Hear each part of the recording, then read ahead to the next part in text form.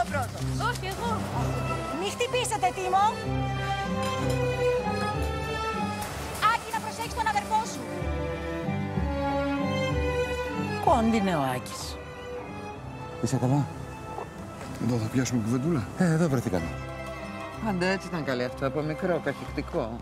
Βλέπεις ο αδερφός σου τα πήρε όλα.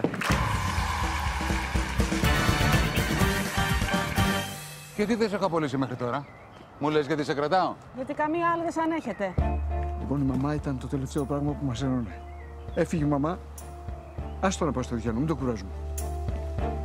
Τίμος Παράσχος, ο γνωστός; Ο γνωστός. Αδερφός μου.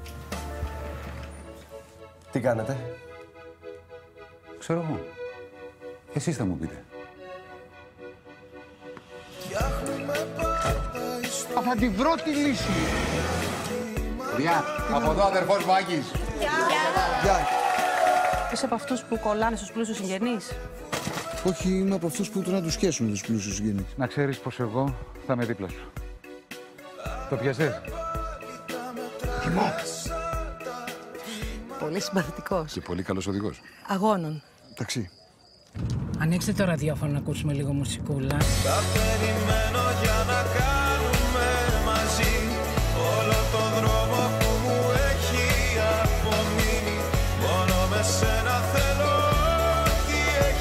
κάνεις και καμιά χαζομάρα.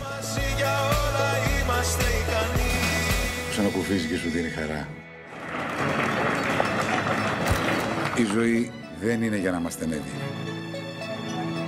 Αλλά για να τη φοράμε στο νούμερό μας.